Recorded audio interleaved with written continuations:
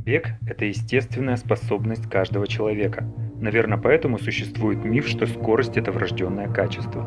Однако, чтобы бегать по-настоящему быстро, врожденных качеств недостаточно. Нужно освоить противоестественные и противоречащие логике обычного человека действия.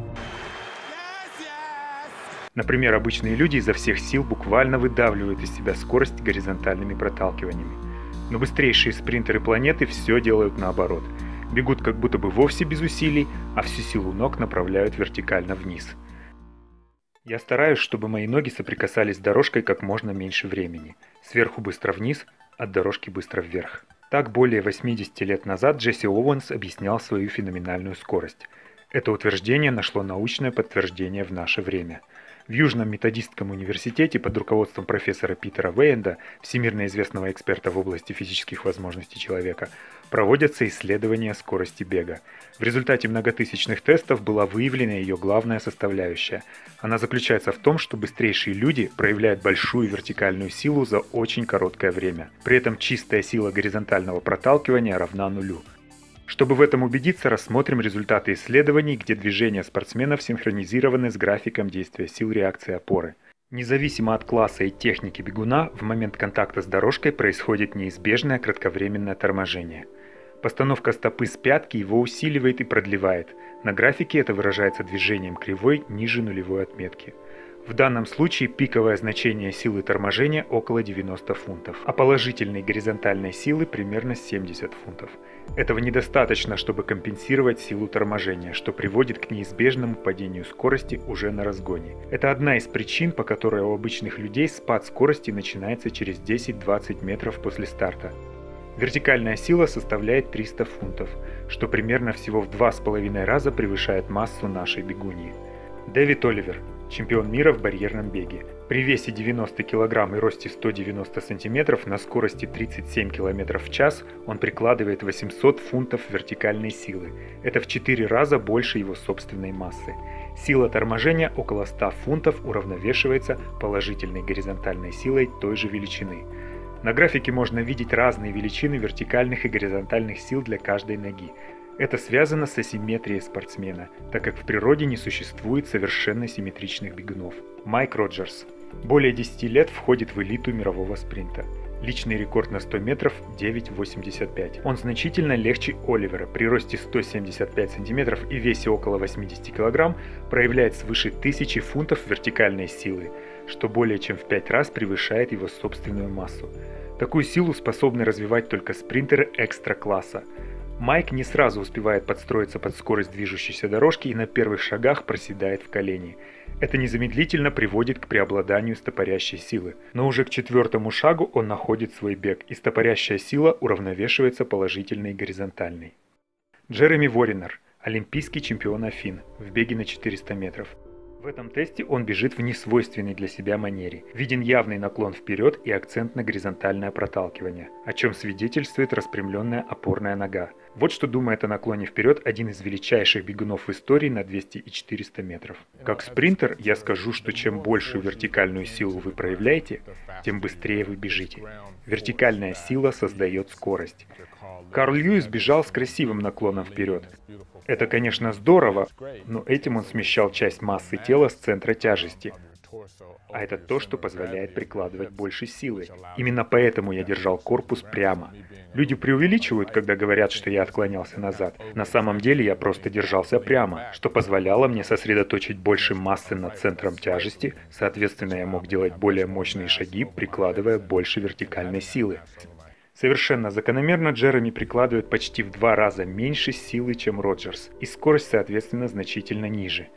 Сила торможения компенсируется противоположной горизонтальной силой. А так Джереми бежал на пике своей карьеры.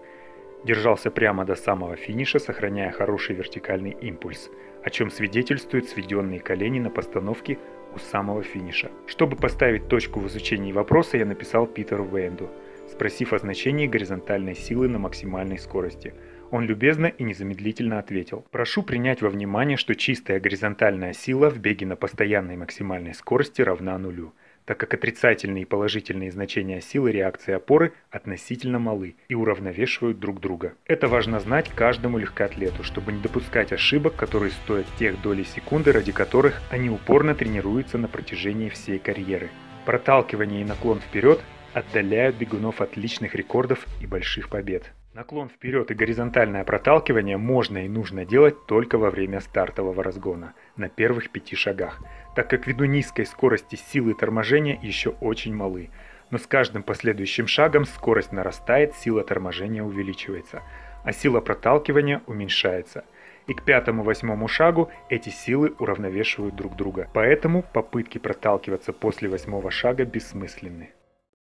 Однако в легкоатлетической среде по сей день распространено понятие «бег с хорошим проталкиванием». Давайте более детально рассмотрим, к чему такой бег обычно приводит спринтера. Очевидно, что во время бега невозможно избежать фазы торможения, но зато ее можно укоротить, так как она длится только до тех пор, пока маховая нога находится сзади.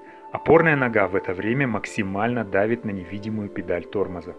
Когда спортсмен пытается протолкнуться, он всегда получает прямо противоположный результат, поскольку проталкивание вынуждает толчковую ногу дольше оставаться сзади, поэтому в следующем шаге фаза торможения неизбежно увеличивается.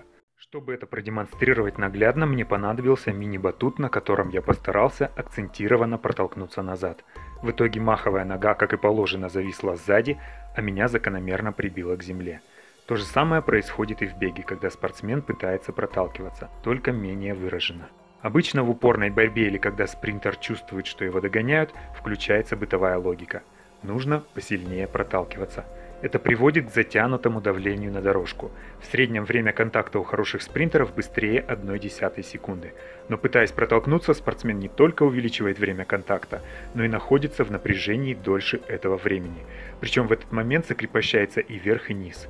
А это напрямую бьет не только по скорости, но и по скоростной выносливости. Тело спортсмена можно сравнить с не очень емким аккумулятором, а мышцы с лампочками. Если включить одну мышцу, то она выдает максимальное усилие, самый яркий свет. При одновременном подключении еще одной мышцы, нужная мышца уже не может производить максимальную силу. Чтобы добиться максимального усилия, нужно отключить все лишние мышцы. Иногда это помогает сделать простая улыбка. Она раскрепощает шею, которая пожирает слишком много энергии.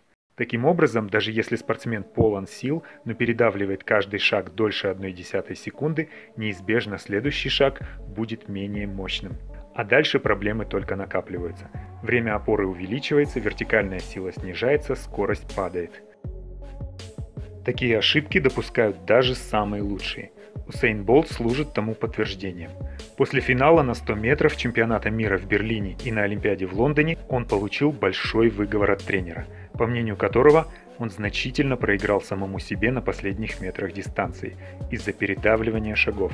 Об этом Болт написал в своей автобиографии. Однако история умалчивает, что ему сказал тренер после финала на чемпионате мира 2017 года в Лондоне, где Болт, отчаянно толкая дорожку назад, стал третьим. Время контакта с дорожкой у лучших спринтеров мира составляет 8 сотых секунды, за это очень короткое время спринтер успевает приложить силу в 5 раз превышающую собственную массу. Акцент идет только на мощный вертикальный импульс. Это позволяет выносить маховую ногу вперед намного быстрее, сокращая фазу торможения, на что указывает положение колена маховой ноги в момент постановки. Во втором примере я постарался поставить ногу на батут прямо, не пытаясь проталкиваться. Как видно, в отличие от предыдущего проталкивания, меня понесло вперед и маховая нога быстро догнала опорную, создавая благоприятные условия для следующего шага. Важно отметить, что в отличие от стартового разгона, чтобы не передавливать шаг, акцентированное короткое усилие делается в первой фазе постановки стопы на дорожку. Задача спортсмена в этот момент удержать общий центр массы как можно выше, чтобы сохранить максимальный импульс для выталкивания, которое происходит бессознательно за счет сухожильного рефлекса. Очень короткое, но мощное вертикальное усилие приводит к ощущению легкого и расслабленного бега. Кажется, что ноги не успевают касаться дорожки. Так в разные годы одинаково описывали свои ощущения рекордсмены мира в беге на 100 метров.